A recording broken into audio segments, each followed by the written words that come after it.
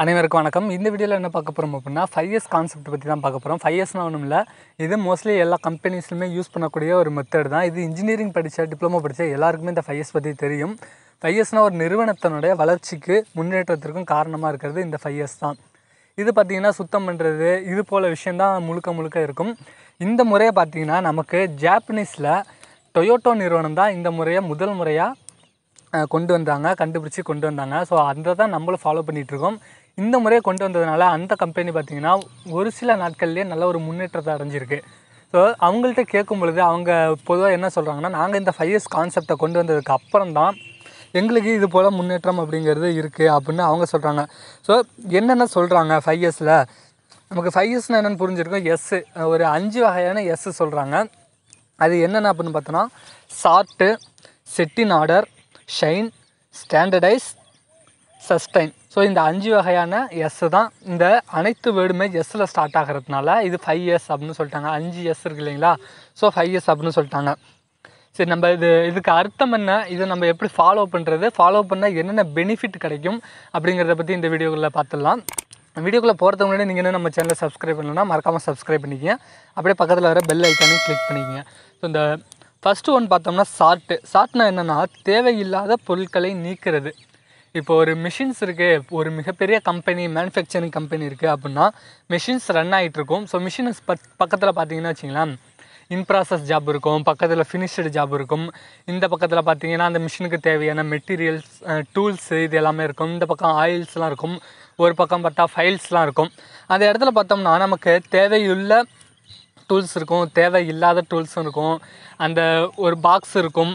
அந்த பாக்ஸ் நமக்கு தேவையே படாது பார்த்தோம்னா ரொம்ப நாளாக அங்கேயே இருக்கும். ஒரு ஆயில் கேன் இருக்கும். ஆயில் கேன் பார்த்தீங்கன்னா மந்த்லி ஒரு வாட்டி தான் நம்ம ரீஃபில் பண்ண போகிறோம் ஆனால் அந்த ஆயில் கேனை அங்கேயே இருந்துக்கிட்டே இருக்கும். ஸோ இப்படி தேவையில்லாத பொருட்கள்லாம் இருக்கும். அதையெல்லாம் எடுத்து கொண்டு போய் ஓரமாக வச்சுட்டு அந்த இடத்த சுத்தம் பண்ணுறது சார்ட் பண்ணுறது தான். இதுக்கு பேர் தான் சார்ட்டுன்னு பேர். ஸோ தேவையில்லை பொருட்களை நமக்கு பக்கத்துலேயே வச்சுக்கிட்டு தேவையில்லாத பொருட்களை மூட்டை கொட்டி கொண்டு போயிட்டு எங்கேயாவது போ போட்டுடுறது. ஒரு இடத்துல தேவையில்லாத பொருட்கள்லாம் வைப்பாங்க தெரியுங்களா? ஸ்டோரு அங்கே கொண்டு போய் வச்சிடுறது.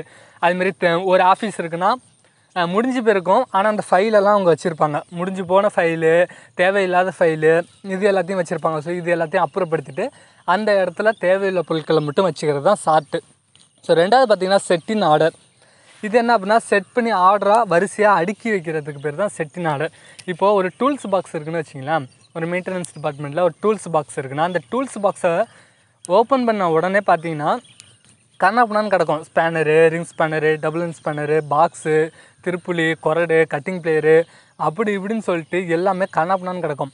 ஆனால் அப்படிலாம் இல்லாமல் ஒரு பாக்ஸை ஓப்பன் பண்ண உடனே ஸ்பேனரா டபுள் ஸ்பேனரா அதெல்லாம் இந்த ரோலை ரிங்ஸ் ஸ்பேனரா அதெல்லாம் இந்த ரோல் அப்படின்னு அடுக்கி வச்சுருப்பாங்க. இப்போ நீங்கள் மெக்கானிக் ஷெட் பார்த்தீங்கன்னா வச்சிங்களேன் ஒரு போர்டு இருக்கும். அந்த போர்டில் பார்த்தீங்கன்னா எட்டு ஒம்பது ஸ்பேனரு பத்து பதினொன்று ஸ்பேனரு பன்னெண்டு பதிமூணு ஸ்பேனரு பதினாலு பதினஞ்சு ஸ்பேனர்னு வரிசையாக அடுக்கியிருக்கும் ஒரு பக்கம். இன்னொரு பக்கம் பாக்ஸு ஸ்பேனர்லாம் இருக்கும். இன்னொரு பக்கம் ரிங்ஸு ஸ்பேனர்லாம் இருக்கும். இந்த பக்கம் கட்டிங் பிளேயரு கொரடு இது எல்லாமே இருக்கும். ஒரு பக்கம் பார்த்தா திருப்புளி இது போல் விஷயங்கள்லாம் இருக்கும்.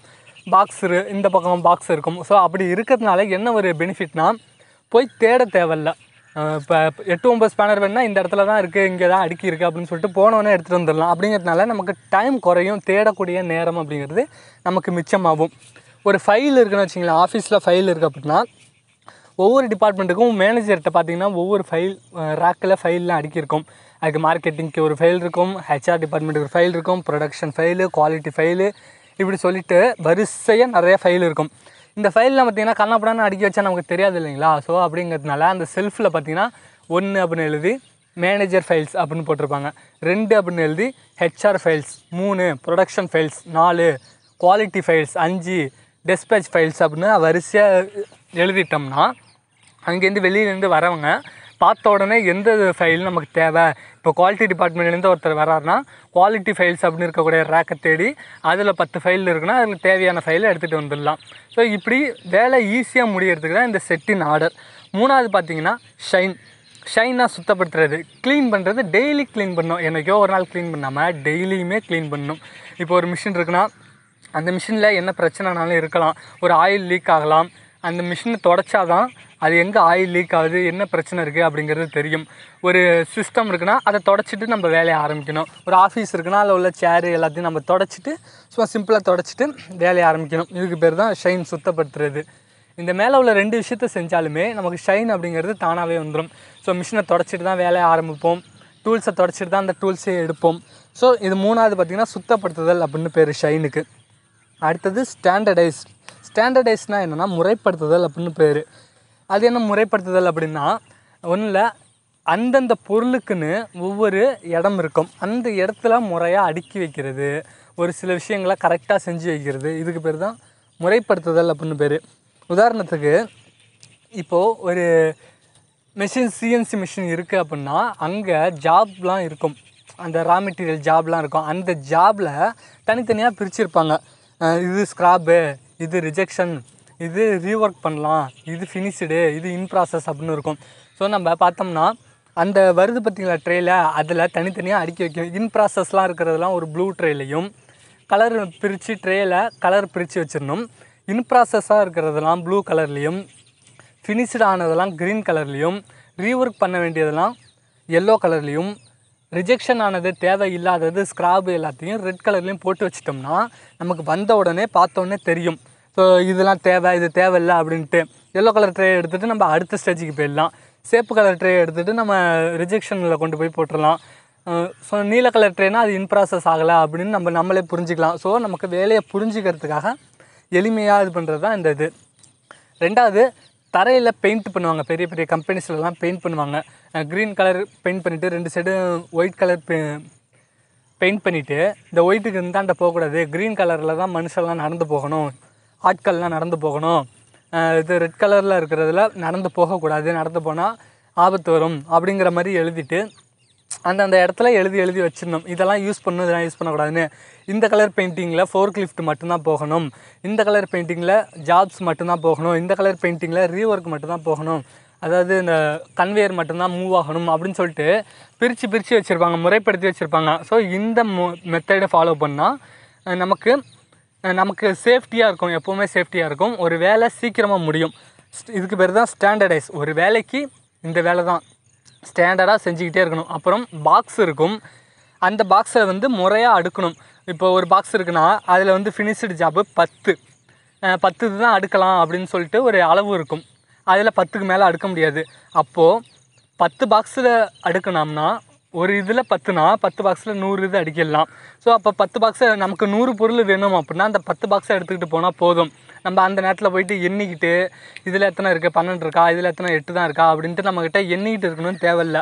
அந்த கரெக்டான பாக்ஸு கரெக்டாக யூஸ் பண்ணோம்னா அதில் பத்து பொருள் இருக்குது ஸோ நம்ம பத்து பா நூறு பொருள் நூறு ஜாப் வேணும் அப்படின்னா இதுமாரி பத்து பாக்ஸ் எடுத்தால் நமக்கு நூறு ஜாப் ஆகிடும் அப்படின்ட்டு நம்மளே கணக்கு பண்ணிக்கலாம். ஸோ இது போல் வேலையை எளிமையாக்கிறதுக்கு இந்த ஸ்டாண்டர்டைஸ் மெத்தட் யூஸ் ஆகுது. அடுத்து பார்த்தீங்கன்னா சஸ்டைன் இதுதான் கடைசி எஸ்ஐ இதில் பார்த்தோம்னா நிலைப்படுத்துதல் அப்படின்னு பேர். நிலைப்படுத்துதல்னா இதுக்கு முன்னாடி நம்ம சொன்னோம் இல்லைங்களா நாலு எஸ்ஸு இந்த நாலு எஸ்ஸையும் தவறாமல் கரெக்டாக கீப் அப் பண்ணுறது கரெக்டாக ஒவ்வொரு நாளைக்கும் ஒவ்வொன்றும் மிஸ் ஆகாமல் கரெக்டாக இதை ஃபாலோ பண்ணிக்கிட்டே வரோம் பார்த்தீங்களா? இதுக்கு பேர் தான் இந்த சஸ்டைன் அப்படின்னு பேர். ஒவ்வொரு நாளைக்கும் ஒவ்வொருத்தவங்களும் இந்த பொறுப்பை எடுத்து செய்யணும். இதை இதை பார்த்துக்கிறதுக்குனே தனியாக ஒரு குழுலாம் இருக்குது நம்ம பெரிய பெரிய கம்பெனிஸ்லாம் இதுக்குன்னே ஒரு டிபார்ட்மெண்ட் இருக்குது தையஸை பார்த்துக்கிறதுக்குனே ஒரு தனி அதிகாரிகள்லாம் இருக்காங்க. ஸோ இந்த இது எல்லாத்தையுமே பார்த்துக்கிறது தினமும் செய்கிறது கரெக்டாக செய்கிறது ஒழுங்காக செய்கிறது இதுக்கு பேர் தான் சஸ்டைன் அப்படின்னு பேர். நம்ம மேலே உள்ள நாலு விஷயத்த செஞ்சிட்டாலே அந்த அஞ்சாவது எஸ் வந்து நமக்கு தானாகவே வந்துடும் ஸோ இதுதான் ஃபைவ் எஸ் கான்செப்ட் அப்படின்னு பேர். சரி இப்படி பண்ணுறதுனால என்ன நமக்கு பெனிஃபிட்டு அப்படின்னோம்னா இதுதான் முக்கியமான விஷயம். பெனிஃபிட் இல்லாமல் எந்த ஒரு கான்செப்டையும் இன்ஜினியரிங்குள்ளே கொண்டு வரவே மாட்டாங்க. ஸோ பெனிஃபிட் இருக்குது ஹை ப்ரொடக்ஷன் ஏன் ஹை ப்ரொடக்ஷன் அப்படின்னா ஒரு ஆப்ரேட்டர் இருக்காருன்னா பக்கத்தில் வந்து கண்ணா பண்ணான்னு ஏதாவது கிடந்துச்சுன்னா அவர் அதை அடுக்கி வைக்கிறதுல தான் கவனத்தை செலுத்துவாரே தவிர மிஷினை ரன் பண்ணுறதுல கவனத்தை செலுத்த மாட்டார். இப்போ ஒரு மேனேஜர் இருக்காருன்னா அவருக்கு ஒரு ஃபைல் தேடணும் அப்படின்னா ஃபைலு போனோன்னே எடுத்துகிட்டு வர மாதிரி இருக்கும். ஒரு ஃபைலு தேவைன்னா அந்த ஃபைலை வந்து போனோன்னே எடுத்துகிட்டு வர மாதிரி இருக்கணும். அப்போ தான் ஒரு நிமிஷத்தில் முடியும். இல்லாட்டினா அந்த ஃபைலை தேடுற மாதிரி இருந்தால் பத்து நிமிஷம் ஆகிடும் அப்போ பத்து நிமிஷத்துக்குள்ள வேலை டைம் வேஸ்ட்டு இப்போ ப்ரொடக்ஷனும் அதே மாதிரி தான் பத்து நிமிஷம் ஒரு பொருளை தேடிக்கிட்டே இருந்தாருன்னா ஒரு ஆப்ரேட்டர் ஒரு டூலை தேடிக்கிட்டே இருந்தாருன்னா டூல் இந்த டூல் இங்கே தான் இருக்கணும்னு நம்ம அடுக்கி வச்சுட்டோம். ஃபைவ் இயர்ஸ் மெத்தடில் அடுக்கி வச்சிட்டோம்னா அவர் செட்டிங் மாற்றும் பொழுது அந்த டூலை எடுத்து மாற்றிடுவார் இல்லை அந்த டூல்ஸுக்கு தேடணும் அப்படின்னா பத்து நிமிஷம் தேடுற மாதிரி இருக்கும் காமன் நேரம் தேடுற மாதிரி இருக்கும். அப்போ நமக்கு ப்ரொடக்ஷன் டைம் வேஸ்ட் ஆகிடும் ஸோ ப்ரொடக்ஷனை அதிகமாக்கலாம். ரெண்டாவது வேஸ்ட்டு டைமை குறைக்கலாம். இதே தான் இதே மெத்தட் தான். அந்த பத்து நிமிஷம் தேடுனா பத்து நிமிஷம் டைம் தானே வேஸ்ட் ஆகுது. ஸோ அது வேஸ்ட் ஆகாமல் இருக்கிறதுக்கு இந்த ஃபைவ் இயர்ஸ் மெத்தட் யூஸ் ஆகுது. அடுத்தது ஒர்க்கர்ஸ் பீஸ்ஃபுல் மைண்டு இப்போ நம்ம வேலை செய்கிற லேபர்ஸ்லாம் எப்போவுமே ஒரு சந்தோஷமான மனநிலைமையில் எப்போவுமே வேலை செஞ்சுக்கிட்டு இருக்கணும். அப்போ தான் ப்ரொடக்ஷன் அப்படிங்கிறது அதிகமாக இருக்கும். அவங்கள்ட்ட போயிட்டு ஒரு மிஷினில் நிப்பாட்டிட்டு இந்த பக்கம் பார்த்தா ஆயில் இருக்கும். இந்த பக்கம் பார்த்தா ரீஒர்க்கு ஜாப்லாம் நிறையா குமிஞ்சு கிடக்கும். இந்த பக்கம் பார்த்தா ரிஜெக்ஷன் ஜாப் இருக்கும். இந்த பக்கம் பார்த்தா டூல்ஸ் கில்ஸ்லாம் கனாப்பனான்னு கிடக்கும். ஸோ இப்படி இருந்தால் யாருக்குமே வேலை செய்ய பிடிக்காது இல்லைங்களா? ஸோ இதையெல்லாம் சரி ஃபைவ் இயர்ஸ் மூலமாக இது எல்லாத்தையும் சரி பண்ணிட்டா அவர் ஒரு பீஸ்ஃபுல்லான மைண்டில் சந்தோஷமாக வேலை செஞ்சுக்கிட்டு இருப்பார். Reduce the rejection quantity rejection ஆகும். எப்படி ஆகும்னா நம்ம பார்த்தோன்னா கண்ணாப்புனான்னு ஒரே முட்டா கிடக்கிறதுல நல்ல பொருளும் ஜாபும் அங்கே இருக்கும். அது மேலே ரிஜெக்ஷன் ஆன ஜாபும் இருக்கும். ரிஜெக்ஷன் ஆன பொருளுக்கு டேமேஜ் ஆனால் பிரச்சனையே இல்லை. ஆனால் நல்ல ஜாபில் ரிஜெக்ஷன் இது ரிஜெக்ஷன் ஜாப்பை போட்டுட்டோம்னா அந்த நல்ல ஜாபும் வீணாக போயிடும். ஸோ அப்படிங்கிறதுனால இந்த அதை ரெடியூஸ் பண்ணலாம். நம்ம இந்த ஃபைவ் இயர்ஸை கொண்டு வந்துட்டோம்னா அதை ரெடியூஸ் பண்ணலாம். அடுத்தது அதிகமான வேலை நடக்கும். டைம் வேஸ்ட் ஆகாது. அதனால அதிகமாக வேலை நடக்கும். அது ஒரு விஷயம். இடம் சுத்தமாக இருக்கும். ஒரு கம்பெனினா பார்க்கறதுக்கு அப்படியே நீட்டாக இருக்கணும். நம்ம கம்பெனி சின்னதாக ஆரம்பித்தாலும் சரி ரெண்டு மிஷின் தான் இருக்குது அப்படின்னு வச்சுக்கிட்டாலும் பார்த்தோம்னா நம்ம முறையாக செஞ்சிடணும் ரெண்டு மிஷினுக்குள்ளே இடம் இது. இது ஆட்கள் உட்காந்து டீ குடிக்கிற இடம் இது. இந்த இடத்துல உட்காந்து ஃபைல்லாம் ரிட்டர்ன் பண்ணணும். இந்த இடத்துல உட்காந்து பணம் அந்த அந்த விஷயங்கள்லாம் செய்கிறது இப்படின்ட்டு முறைப்படுத்திட்டோன்னா கம்பெனி பார்க்கறதுக்கு நீட்டாக அழகாக இருக்கும். ஒரு பெயிண்டிங் பண்ணிட்டோம் அப்படின்னா இந்த இடத்துல மிஷின் இருக்கணும் இந்த இடத்துல ஆள் நடந்து போகணும் பெயிண்டிங் பண்ணிட்டோம்னா இன்னும் அழகாக இருக்கும் பார்க்கறதுக்கு. அடுத்தது பார்த்திங்கன்னா நிறுவனத்தோட முன்னேற்றம். ப்ரொடக்ஷன் அதிகமாயிட்டனாலே நிறுவனத்தோட முன்னேற்றம் நல்லாயிருக்கும். ப்ரொடக்ஷன் அதிகமாகும் குவாலிட்டி அதிகமாகும் இந்த ஃபைவ் இயர்ஸ் கொண்டு வந்துட்டோம்னா ப்ரொடக்ஷன் அதிகமாகும் குவாலிட்டி அதிகமாகும் கம்பெனி பார்க்க நீட்டாக இருக்கும். அப்படிங்கிறதுனால நிறுவனம் ஒரு முன்னேற்றத்தை நோக்கி போய்கிட்டு இருக்கும் அடுத்தது நல்ல தரமான பொருட்கள்லாம் உருவாகும். அதிக பாதுகாப்புங்க மெயின்டெனன்ஸு மெயின்டெனன்ஸ் நல்ல ஒரு சேஃப்டியாக இருக்கும். நம்ம பயப்படாமல் வேலை செய்யலாம். ஆயிலெலாம் கண்ணாப்பண்ணான்னு கடந்தால் அதை தான் சுத்தம் பண்ணிடுறோம்ல இப்போ நம்ம பயப்படாமல் வேலை செய்யலாம். நமக்கு எப்போவுமே சேஃப்டியான மனநிலைமை இருந்துக்கிட்டே இருக்கும். சேஃப்டியான இடமும் சேஃப்டியாக இருக்கும். ஸோ இதுதான் இந்த ஃபைவ் இயர்ஸ் கான்செப்ட்டு நிறைய நிறைய நிறுவனங்கள் எப்போவுமே இந்த ஃபைவ் இயர்ஸ் கான்செப்டை பின்பற்றிக்கிட்டு வராங்க. அவங்களுடைய லேபர்ஸ் எல்லாருக்குமே இதை தான் சொல்லிக்கிட்டு இருக்காங்க. ஸோ அவங்களுடைய முன்னேற்றத்துக்கு காரணமே இந்த ஃபைவ் இயர்ஸ் தான். ஸோ நீங்களும் ஒரு நிறுவனம் வச்சுருக்கீங்க. சின்னதாக நிறுவனம் வச்சுருந்தாலும் பரவாயில்ல. பெருசாக நிறுவனம் வச்சுருந்தாலும் பரவாயில்ல. நான் சொன்ன இந்த ஃபைவ் இயர்ஸ் மெத்தடை ஃபாலோ பண்ணி பாருங்கள் உங்களுக்கு நிறைய மாற்றங்கள் தெரியும். உங்களுக்கே உங்கள் கம்பெனி மேலே அந்த அளவுக்கு ஒரு ஈர்ப்பு ஏற்படும். ஸோ இதுதான் விஷயம். நீங்களும் இந்த ஃபைவ் இயர்ஸ் கான்செப்டை ஃபாலோ பண்ணி பாருங்கள் கண்டிப்பாக ஒரு நல்ல ஒரு முன்னேற்றம் இருக்கும். ஓகேங்களா இந்த வீடியோ உங்களுக்கு யூஸ்ஃபுல்லாக இருக்கும்னு நினைக்கிறேன். இந்த வீடியோ பிடிச்சிருந்தா லைக் பண்ணுங்கள் ஃப்ரெண்ட்ஸ் எல்லாருக்கும் ஷேர் பண்ணுங்கள் நீங்கள் எந்த கம்பெனியில் வேலை செய்கிறீங்க உங்கள் கம்பெனியில் ஃபைவ் இயர்ஸ்க்கு எந்த அளவுக்கு முக்கியத்துவம் கொடுக்குறாங்க? அப்படின்னு சொல்லிட்டு கீழே கமெண்ட் பண்ணுங்கள் நானும் பார்த்து தெரிஞ்சுக்கிறேன். ஸோ நான் கம் வேலை பார்த்த கம்பெனியில் ஃபைவ் இயர்ஸ் தான் ஃபஸ்ட்டு ப்ரொடக்ஷன் அடுத்து.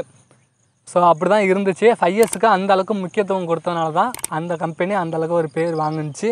ஸோ நீங்களும் ஃபாலோ பண்ணுங்கள் தேங்க்யூ நம்ம சேனலில் சப்ஸ்கிரைப் பண்ணியிருக்க எல்லாருக்குமே ரொம்ப நன்றி.